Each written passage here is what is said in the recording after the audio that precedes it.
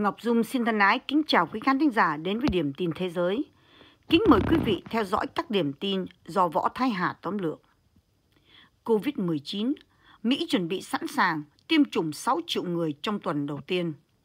Nước Mỹ đã sẵn sàng trong khâu hậu cần để phân phối hàng triệu liều vaccine Pfizer và BioNTech ngừa COVID-19 theo Reuters. Toàn bộ công tác hậu cần cho việc phân phối hàng triệu liều vaccine Pfizer và BioNTech đầu tiên đã sẵn sàng. Theo phát biểu của nhiều quan chức Mỹ ngày 24 tháng 11 năm 2020. Tuy nhiên, cơ quan y tế Mỹ cảnh báo người dân đừng vội từ bỏ khẩu trang vì vaccine ngừa COVID-19 không giúp Mỹ thoát khỏi khủng hoảng dịch tễ ngay lập tức. Khoảng 6,4 triệu liều vaccine sẽ được phân phối trong 3 tuần nữa và 40 triệu liều nữa vào trước cuối năm. Gồm cả vaccine do Moderna bào chế và có thể được Cục Quản lý Thực phẩm và Dược phẩm Hoa Kỳ FDA bật đèn xanh vào tháng 12. Tướng Gus Perna, chỉ huy chiến dịch phân phối, khẳng định quân đội có thể giao vaccine đến bất kỳ nơi nào ở Hoa Kỳ. Đối tượng được ưu tiên trong đợt tiêm chủng đầu là người cao tuổi ở nhà dưỡng lão, nhân viên y tế. Từ quý thứ hai năm 2021, vaccine sẽ được tiêm đại trà cho bất kỳ người dân nào muốn. Kinh tế Trung Quốc đi xuống, chính phủ không giúp được các doanh nghiệp nhà nước. Sau khi trái phiếu của hai doanh nghiệp nhà nước Liêu Ninh, Brilliant Groups và Hà Nam Vĩnh Doanh bị vỡ nợ thị trường trái phiếu tín dụng sơ cấp đã phải đối mặt với sự trì trệ.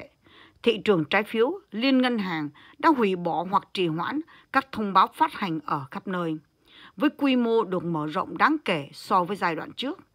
Tại thị trường thứ cấp, các trái phiếu rủi ro cao như tập đoàn Than Vĩnh Doanh, Năng lượng và Hóa chất Hà Nam, Thanh Hoa và Chi Quang đã gia tăng rõ rệt với những đợt sụt giá mạnh theo thời gian. Phó Thủ tướng Lưu Hạc bày tỏ hy vọng sẽ xua tan nỗi lo của thị trường về vấn nạn trốn nợ, cho biết ông sẽ giữ thái độ không khoan nhượng. Đối với các vụ vỡ nợ tài chính, nhưng không nêu ra chính sách hỗ trợ tài chính cụ thể nào đi kèm. Nhiều nhà phân tích bày tỏ hoài nghi về việc liệu cuối cùng có thể ngăn chặn được sự bùng phát rủi ro nợ tín dụng này hay không. Ủy ban Tài chính Trung Quốc nhìn nhận rằng có ba yếu tố gây ra các vụ vỡ nợ trái phiếu doanh nghiệp nhà nước gần đây. Yếu tố đầu tiên là chu kỳ kinh tế. Nền kinh tế Trung Quốc đang theo một chu kỳ đi xuống và tài chính của Đảng Cộng sản Trung Quốc cũng không khá hơn trước đây.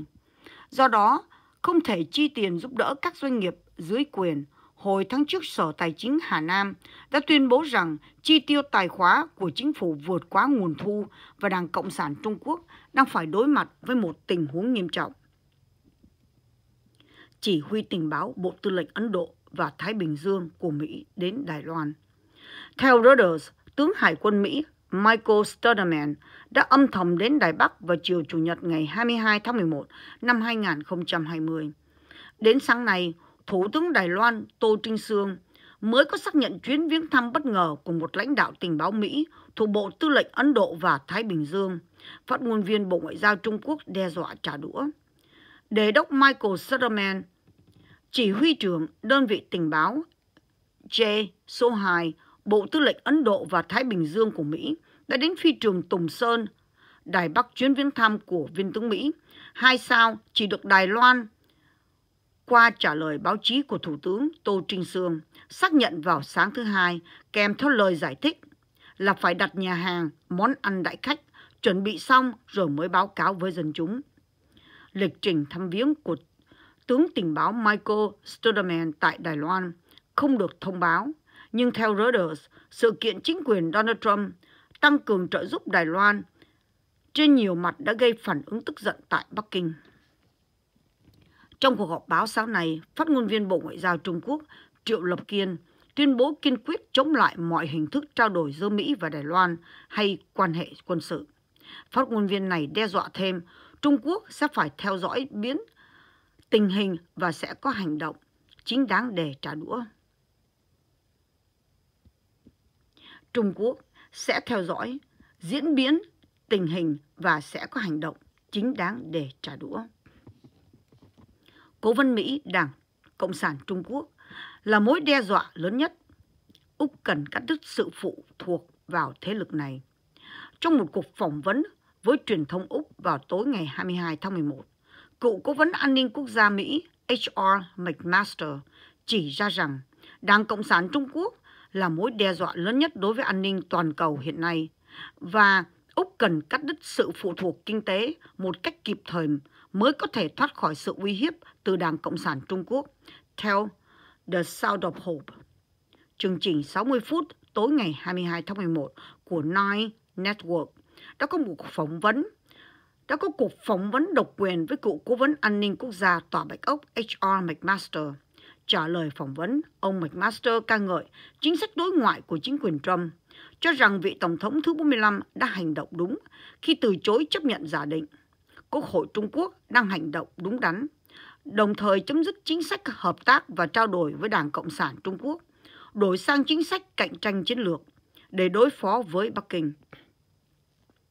Ông McMaster khá tán đồng quan điểm và cách tiếp cận của chính phủ Úc đối với Trung Quốc trong giai đoạn này. Ông cho biết Úc đã gánh vác trách nhiệm lãnh đạo ở khu vực Ấn Độ Dương và Thái Bình Dương và cộng đồng quốc tế. Ông McMaster cũng nói rõ Đảng Cộng sản Trung Quốc là mối đe dọa lớn nhất mà thế giới phải đối mặt hiện nay. Ông cho rằng chính sách đối ngoại của Đảng Cộng sản Trung Quốc là thiết lập một trật tự quốc tế mới để tất cả các nước phục vụ lợi ích của nó. Nếu Đảng Cộng sản Trung Quốc thành công trong việc hiện thực hóa những tham vọng này, thì thế giới sẽ mất tự do, thịnh vượng và an ninh. Ông cho hay, ông McMaster cho rằng không chỉ Hoa Kỳ mà tất cả các nước trên thế giới đều phải áp dụng cách tiếp cận cạnh tranh để đối phó với Bắc Kinh. Truyền thông Israel, Thủ tướng Netanyahu bí mật gặp Thái tử Ả Rập Xê Út thảo luận bình thường hóa quan hệ. Tổng thống Mỹ Donald Trump là người có chính sách đối ngoại thành công nhất trong lịch sử. Đối với các đời Tổng thống Mỹ, thì gần đây có một chiến công thúc đẩy hòa bình khác nữa là khu vực Trung Đông theo tờ The, The Gateway Pundit hôm 23 tháng 11. Trong một khoảng thời gian ngắn cầm quyền, Tổng thống Trump đã bóp nghẹt Trung Quốc, kiềm chế hiệu quả nhà độc tài Bắc Triều Tiên, mang lại hòa bình cho Kosovo và Serbia và làm trung gian hòa giải giữa Israel và ba quốc gia Ả Rập. Hồi tháng 10, Tổng thống Trump tuyên bố Israel và Sudan đã đồng ý bình thường hóa quan hệ. Nhờ công lao của chính quyền Trump, Sudan nối gót là quốc gia Hồi giáo thứ ba trong ba tháng vừa qua công bố một thỏa thuận hòa bình với Israel. Đây là thỏa thuận hòa bình thứ ba của Israel và là thỏa thuận hòa bình thứ tư mà chính quyền Tổng thống Trump đã xúc tiến thành công. Tổng thống Trump cũng kêu gọi đưa quân đội Mỹ hồi hương từ Syria, Iraq và Afghanistan. Bắc Kinh đã trả hàng triệu đô cho người, cho nhiều tờ báo Mỹ. Thông tin này được Daily Caller báo cáo hôm 22 tháng 11.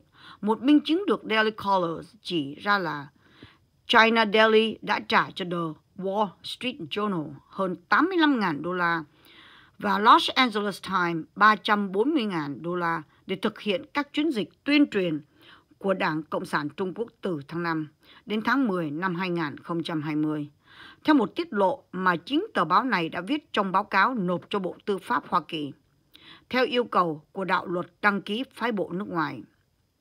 Trung Quốc trúng thầu xây sân bay tại Campuchia. Một công ty Trung Quốc giành hợp đồng thi công hạng mục trịnh chính trị giá 405 triệu US dollars của sân bay quốc tế tới mới gần thủ đô Phnom Penh. Tập đoàn luyện kim Trung Quốc MCC giành hợp đồng thiết kế và thi công nằm trong dự án xây dựng sân bay mới gần thủ đô Phnom Penh của Campuchia, trị giá 1,5 tỷ US dollars. Nikkei đưa tin hôm nay, Trung Quốc chỉ gần như toàn bộ vốn đầu tư cho dự án sân bay này. Excuse me. Sân bay quốc tế Phnom Penh mới nằm trong chiến lược thúc đẩy du lịch của chính phủ Campuchia. Tuy nhiên, dự án đang bị đặt câu hỏi về tính khả thi dài hạn trong bối cảnh nhiều dự án khác được lên kế hoạch, bao gồm một khu nghỉ dưỡng mới gần ở Angkor Wat.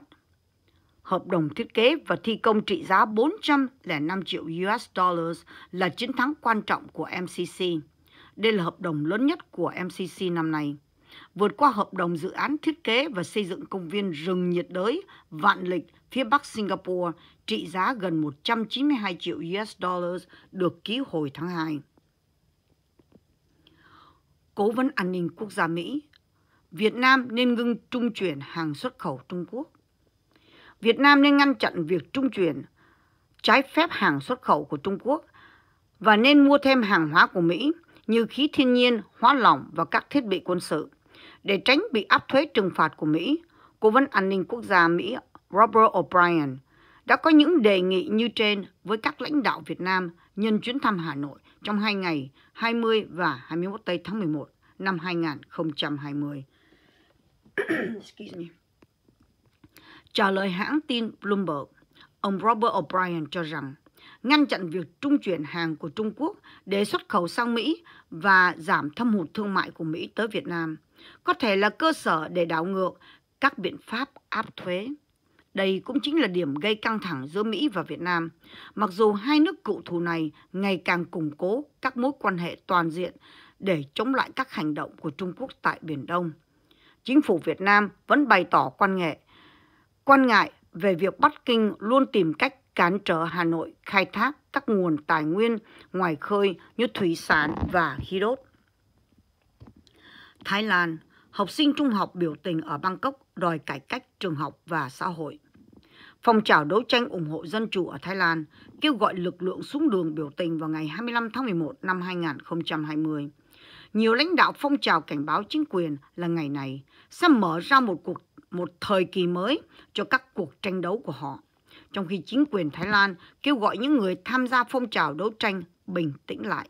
Trong ngày hôm qua, ngày 22 tháng 11, hàng ngàn, hàng chục, hàng ngàn, hàng chục, ngàn học sinh đã xuống đường yêu cầu cải cách trường học và xã hội, ủng hộ phong trào đấu tranh của giới sinh viên Thái Lan. Từ Bangkok, thông tin viên RFI Carol Isok cho biết thêm chi tiết. Bãi bỏ quy định học sinh phải mặc đồng phục đến trường và để cắt tóc ngắn bỏ quy định học sinh phải cúi rạp người trước các giáo viên. Đây là một vài trong số các yêu sách cải cách đặc biệt mà học sinh trung học đưa ra. EU suy thoái kép các chỉ số nhà quản lý mua hàng khu vực đồng euro của IHS Market công bố hôm nay khả năng cao sẽ xác nhận xu hướng giảm tốc hoạt động kinh tế ở châu Âu. Kể từ tháng trước, các biện pháp ngăn chặn làn sóng ca nhiễm COVID-19 thứ hai đã buộc nhiều doanh nghiệp trong lĩnh vực dịch vụ hùng mạnh của khối hạn chế hoạt động. Thiệt hại của đợt phong tỏa thứ hai này được cho là ít nghiêm trọng hơn đợt đầu tiên. Đợt đầu tiên, không như hồi mùa xuân, các trường học nhà máy và cửa hàng vẫn mở cửa ở Đức và các nước khác. Dù vậy, khu vực này vẫn đang trên đà suy thoái, kép lần đầu tiên trong gần một thập niên, điều mà rất ít nhà kinh tế dự đoán vào đầu năm nay. Các nhà dự báo hiện cho rằng nền kinh tế khu vực đồng euro sẽ giảm, giảm 2,5% trong quý cuối của năm 2020. Khốn khối vốn đã trên bờ vực suy thoái từ trước đại dịch. Một phần vì Brexit, căng thẳng thương mại và doanh số bán xe chạy dầu diesel đã giảm. Nhưng chính COVID-19 đã đẩy họ rớt xuống vực. Excuse me. Joshua Wong và các bạn đấu tranh nhận tội trong phiên tòa ở Hồng Kông. Nhà hoạt động dân chủ Hồng Kông Joshua Wong và hai nhà đấu tranh khác đang đối mặt với viễn cảnh ngồi tù sau khi nhận tội tụ tập trái pháp luật trong cuộc biểu tình đông người năm đông người năm ngoái. Joshua Wong, Ivan Lam và Andy Chow hầu tòa hôm thứ Hai. Joshua Wong nói dự kiến sẽ ngồi, phải ngồi tù, có thể phải đối mặt với 5 năm sau song sắt. Tuy nhiên, vì các hành vi phạm vi cáo buộc diễn ra trước khi Trung Quốc ban hành luật an ninh quốc gia khắc nghiệt vào tháng 6, họ đã tránh được bản án trung thân. Nhà hoạt động nổi tiếng tiết lộ đã quyết định ngay thay đổi lời tuyên bố sau khi nói chuyện với luật sư của mình. Joshua Wong nói với các phóng viên có mặt tại tòa hôm thứ Hai, ba người chúng tôi đã quyết định nhận tội mọi cáo buộc. Sẽ không có gì ngạc nhiên nếu tôi bị đưa đến trại giam ngay hôm nay. Chúng tôi đã tiếp tục đấu tranh cho tự do. Và bây giờ không phải là lúc để chúng tôi quỳ lại Bắc Kinh và đầu hàng. Ông nói thêm, cả ba bị giam giữ cho đến ngày 2 tháng 12 khi họ sẽ bị kết án. Mỹ cho phép dùng kháng thể điều trị COVID-19 ngày 21 tây tháng 11 năm 2020. Cơ quan Quản lý Thực phẩm và Dược phẩm Hoa Kỳ FDA cho phép sử dụng thuốc của tập đoàn Regeneron để điều trị cho bệnh nhân COVID-19 quyết định được đưa ra khẩn cấp trong lúc số người nhiễm virus corona trên toàn quốc đã vượt ngưỡng 12 triệu và trong vòng 24 giờ có thêm gần 2.000 ca tử vong. Theo thống kê ngày 21 tháng 11 của Đại học Johns Hopkins trong vòng 24 giờ, Mỹ có thêm gần 164.000 bệnh nhân COVID-19. Tình hình nghiêm trọng không có dấu hiệu thuyên giảm. Số người phải nhập viện và tử vong vẫn tăng nhanh. Trong bối cảnh đó, cơ quan FDA cấp tốc cho dùng Regeneron COV2. Đây là hỗn hợp các kháng thể chống COVID-19. Liệu pháp này từng được dùng để điều trị cho Tổng thống Donald Trump vào đầu tháng 10 năm 2020. Việt Nam tiếp tục đứng thứ sáu về số lượng du học sinh tại Mỹ. Theo báo cáo thường niên hàng năm Open Doors của Viện Giáo dục Quốc tế vừa được công bố, du học sinh tiếp tục chiếm 5,5% trong tổng số du học sinh tại Mỹ, mặc dù số lượng giảm 1,8% so với cùng kỳ năm trước. Trong đó, Việt Nam tiếp tục xếp thứ 6 trong nhóm 10 quốc gia, vùng lãnh thổ dẫn đầu về số lượng du học sinh tại quốc gia này. Từ năm 2008, Việt Nam luôn nằm trong top 10 quốc gia, vùng lãnh thổ có số lượng du học sinh cao nhất tại Mỹ. Tới năm tới năm học năm 2015, Việt Nam leo lên vị trí thứ 6 và tiếp tục ở vị trí này đến hiện tại. Việt Nam hiện có 23.777 du học sinh đang học tại Mỹ trong năm học năm 2019 và năm 2020 với tổng kinh phí là 827 triệu US dollars bổ sung cho nền kinh tế Mỹ. 10 tiểu bang dẫn đầu về số lượng du học sinh theo học tiếp tục là California, New York, Texas, Massachusetts, Illinois, Pennsylvania, Florida, Ohio, Michigan và Indiana. Trung Quốc đứng đầu, đứng đầu nhóm 10 quốc gia, vùng lãnh thổ có số lượng du học sinh lớn nhất tại Mỹ chiếm 34,6% tổng số du học sinh quốc tế. Tiếp đến là Ấn Độ 18%, Hàn Quốc 4,6%, Ả Rập Saudi 2,9%, Canada 2,4%, Việt Nam 2,2%, Đài Loan 2,2%, Nhật Bản 1,6%, Brazil 1,6% và Mexico 1,3%. General Electric và công ty Việt Nam ký biên bản ghi nhớ xây nhà máy điện. Công ty General Electric của Mỹ và một công ty Việt Nam ngày thứ Bảy ký một biên bản ghi nhớ để phát triển một nhà máy điện khí thiên nhiên hòa lỏng, hóa lỏng theo GE và một quan chức cấp cao của chính quyền Trump. Việc ký biên việc ký biên bản ghi nhớ diễn ra trong một sự kiện ở Hà Nội với sự tham dự của Robert O'Brien, cố vấn an ninh quốc gia của Tổng thống Mỹ Donald Trump, người đang ở thăm Việt Nam trong chuyến đi 3 ngày. Theo lời quan chức này, người này yêu cầu ẩn danh để thảo luận về vấn đề này. Theo biên bản ghi nhớ được ký với Tổng thống, với Tổng Công ty Phát điện số 3 của Việt Nam, công ty GE có trụ sở tại bang Massachusetts sẽ nỗ lực cung cấp công nghệ tua bin khí tốt nhất các thiết bị và dịch vụ khác ước tính hơn 1 tỷ đô la trong suốt khoảng thời gian có dự án sẽ được xây gần thành phố Hồ Chí Minh. GE nói trong một thông báo. GE cho biết nhà máy điện khí thiên nhiên hóa lỏng Long Sơn tại tỉnh Bà Rịa, Vũng Tàu sẽ cung cấp nguồn điện từ 3.600 đến 4.500 MW cho cả nước. Đảng Cộng sản, Đảng Cộng Hòa có thể giành được thêm 5 ghế cuối cùng ở Hạ viện. Trong cuộc tuyển cử Hạ viện Hoa Kỳ năm 2020, Đảng Cộng Hòa đã đảo ngược thành công 26 khu vực bầu cử và giành lại 7 ghế từ Đảng Dân Chủ có thể giành thêm 5 ghế tranh chấp còn lại. Vào thứ Năm ngày 9 tháng 11, ông Dave Weisman, biên tập viên của Cook Political Report, đã thông báo trên Twitter rằng hiện nay trong Hạ viện, Đảng Dân Chủ nắm giữ 221 ghế và Đảng Cộng Hòa nắm 209 ghế. Mà trong 5 ghế đang tranh chấp thì khu 21 của California, các ứng cử viên Đảng Cộng Hòa có thể giành được. Ở khu 25 cũng sẽ như thế, quận thứ hai của Iowa đang xem lại các phiếu bầu, có thể ứng cử viên Đảng Cộng Hòa chiến thắng. Trước ngày tuyển cử, Chủ tịch Ủy ban vận động nghị viện của Đảng Dân Chủ là bà Sherry Busto và Chủ tịch Hạ viện bà Nancy Pelosi. Pelosi dự đoán rằng sẽ có một làn sóng màu xanh trong cuộc bầu cử Hạ viện năm nay và Đảng Dân Chủ sẽ có thêm ghế ở Hạ viện.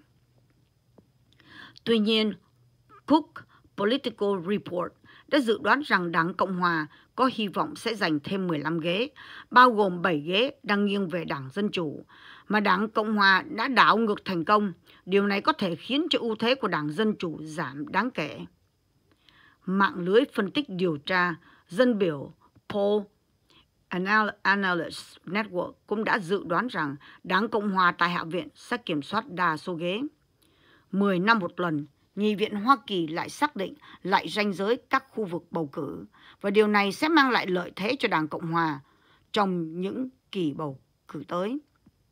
Nathaniel Rekic, một nhà phân tích bầu cử đánh giá Đảng Cộng Hòa sẽ kiểm soát 188 khu vực tuyển cử, chiếm 43% số ghế của Đảng Cộng Hòa trong Hạ viện. Đảng Dân Chủ nhiều nhất chỉ kiểm soát 73 khu vực bầu cử sau khi ranh giới được xác định lại. Obama nói có thể cử siêu đến để ép Tổng thống Trump rời vị trí. Trả lời phỏng vấn chương trình Jimmy Kimmel Live vào thứ Năm ngày 19 tháng 11, cựu Tổng thống Obama nói với người dẫn chương trình Kimmel rằng phe thiên tả của ông có thể cử lượng lực lượng siêu của Hải quân tới tòa Bạch Ốc để cưỡng chế ông Trump rời vị trí Tổng thống theo Daily Wire. Bắt đầu cuộc phỏng vấn, Kimo nói, chúng tôi nhớ ngài, tại sao ngài lại để chúng tôi sống với ông ta, Tổng thống Trump, mà không cố gắng chống lại việc chuyển giao quyền lực. Obama trả lời, tôi phải tuân theo hiến pháp và nhiệm vụ của Michelle, vợ của ông Obama. Đó là 8 năm và sau đó chúng tôi phải ra khỏi đó. Kimo nói, Ngài biết rõ về Nhà Trắng. Ngài đã sống ở đó 8 năm. Có những nơi ai đó có thể ẩn nấp, giống như nếu giả sử chúng sẽ bị xóa. Có những lỗ nhỏ hay bất cứ thứ gì mà Ngài biết không? Obama trả lời, Chà, tôi nghĩ chúng ta luôn có thể cử lính siêu của Hải quân tới đó để đào bới ông ta, Tổng thống Trump. Sau cuộc bầu cử với nhiều bằng chứng gian lệnh, gian lận phiếu bầu, chiến dịch tranh cử của Trump đã tuyên bố rằng họ không chấp nhận kết quả bầu cử và khẳng định cuộc bầu cử này chưa kết thúc. Phản ứng lại, người phát ngôn của Joe Biden nói rằng chính phủ Hoa Kỳ có khả năng cưỡng chế những kẻ xâm nhập khỏi tòa Bạch Ốc. Tướng Mark Milley, Chủ tịch Hội đồng Tham mưu trưởng Liên quân, nói với Nghị viện Mỹ rằng tôi tin tưởng sâu sắc vào nguyên tắc của một quân đội Hoa Kỳ phi chính trị trong trường hợp có tranh chấp về một số khía cạnh của buộc của cuộc bầu cử theo luật các tòa án Hoa Kỳ và Nghị viện Hoa Kỳ buộc phải giải quyết mọi tranh chấp, không phải quân đội Hoa Kỳ. Tôi thấy trước không có vai trò nào dành cho các lực lượng vũ trang Hoa Kỳ trong tiến trình này. Thái Lan dùng luật khi quân truy tố 12 lãnh đạo ủng hộ dân chủ. Sau khi bị cảnh sát triệu tập ngày 25 tháng 11 năm 2012, 12 nhà tổ chức phong trào ủng hộ dân chủ tại Thái Lan bị truy tố và tội khi quân. Một cuộc hành quân mới dự kiến diễn ra cùng ngày ở Bangkok để lên án hoàng gia mập mờ về tài chính. Theo Hội luật sư Thái Lan bảo vệ nhân quyền, 12 người bị triệu tập theo điều 112 của luật sư hình sự. Luật khi quân của Thái Lan là một trong những đạo luật hà khắc nhất trong thế giới trừng phạt đến 15 năm tù về tội xúc phạm, phỉ báng, chỉ trích quốc vương hoặc thành viên hoàng tộc, Lần đầu tiên kể từ năm 2018, điều khoản này được sử dụng để bắt giữ 12 nhà đấu tranh ủng hộ dân chủ. Trả lời AFP, Patrick Chiwarak, một trong 12 người bị bắt, cho rằng thái độ như vậy sẽ còn thu hút đông đảo người xuống đường hơn. Phong trào ủng hộ dân chủ dự kiến tuần hành vào ngày hôm nay 10, ngày 25 tháng 11. Mục tiêu ban đầu là Cục Quản lý Tài sản Hoàng gia Crown Property Bureau CPB. Tuy nhiên để tránh đối đầu với phe bảo hoàng, họ quyết định tập họp trước trụ sở của Siam Commercial Bank, một trong những ngân hàng lớn ở Thái Lan. Quốc vương Maha Vajiralongkorn là một trong những cổ động chính của ngân hàng này. Người biểu tình yêu cầu cải tổ sâu rộng thể chế và kiểm soát khối tài sản khổng lồ của hoàng tộc. Trước đó, quốc vương Mazira Longkorn đã cho thông qua một đạo luật trao cho quốc vương toàn quyền kiểm soát Cục Quản lý Tài sản Hoàng gia được viết tắt là CPB, thay cho Bộ Tài chính Thái Lan đại diện cho chính phủ. Kính thưa quý khán thính giả, điểm tin thế giới đến đây xin chấm dứt. Ngọc Dung xin thân ái, kính chào tạm biệt quý khán thính giả và hẹn lại trong chương trình kỳ tới. Mến chúc quý khán thính giả một ngày, một tuần thật bình an và hạnh phúc. Và chúng ta luôn luôn cầu nguyện và vẫn tiếp tục cầu nguyện cho vị Tổng thống của chúng ta để nước Mỹ này sẽ được cải tổ và được hoàn thành, mỹ mãn và mạnh mẽ hơn. Xin cảm ơn quý vị.